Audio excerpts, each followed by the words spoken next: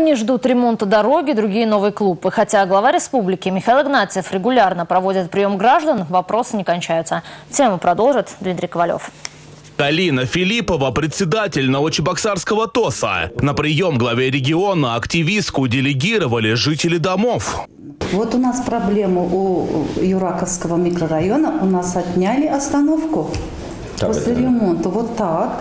Э, до ремонта вот этого кольца была остановка. Вот последняя, самая э, остановка называется школа номер 19.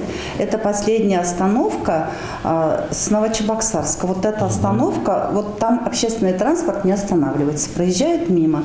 А когда со стороны Чебоксар въезжаешь в Новочебоксарск, вот эта остановка, она есть. А со стороны Новочебоксарска нет. Теперь, чтобы отправиться в сторону Чебоксара, людям приходится преодолевать лишние 300 метров, хотя раньше остановка была под боком. Проблему горожан получится решить очень скоро. Аукцион на обустройство кармана для общественного транспорта объявят в мае. И мы вместе с вами значит, будем разрешать этот вопрос во благо жителей данных многоквартирных жилых домов по улице Советская. Угу.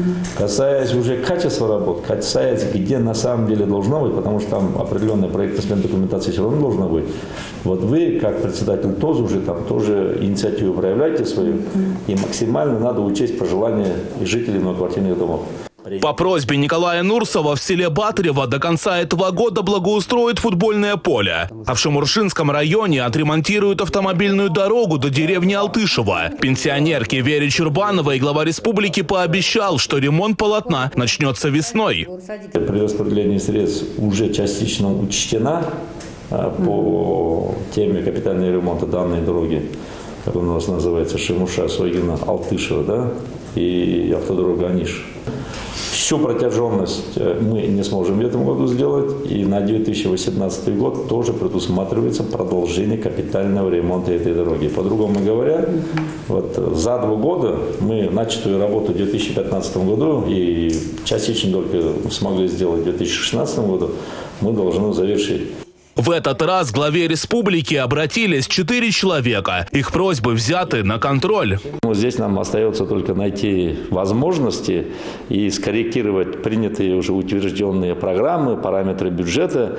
И мы, как всегда поступали, с учетом большинства мнение большинства населения, находили инструменты, находили э, бюджетные средства и выполняли свои данные обещания. Так оно было, так оно и будет.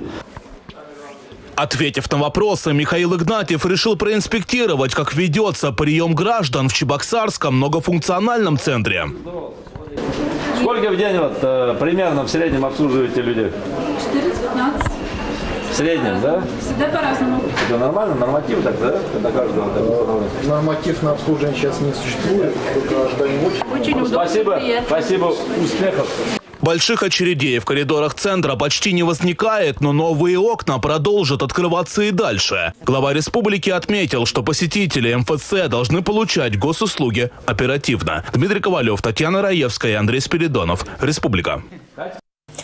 До 72-й годовщины Великой Победы остается чуть больше месяца, а подготовки и концепции праздника говорили участники оргкомитета в Доме правительства.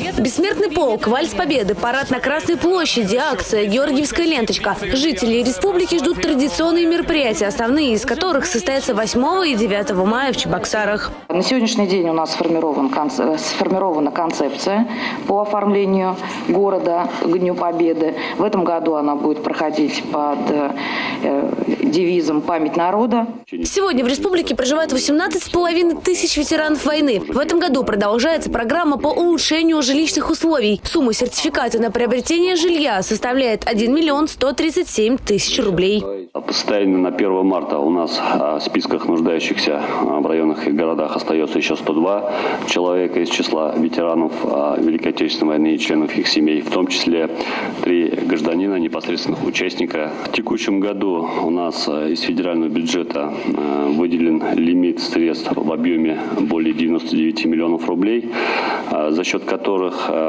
будет оказана государственная поддержка порядка 87 ветеранам Великой Отечественной войны. На заседании также обсудили вопросы оказания медицинской помощи ветеранам войны. Татьяна Леонтьева, Андрей Шоклев, Республика.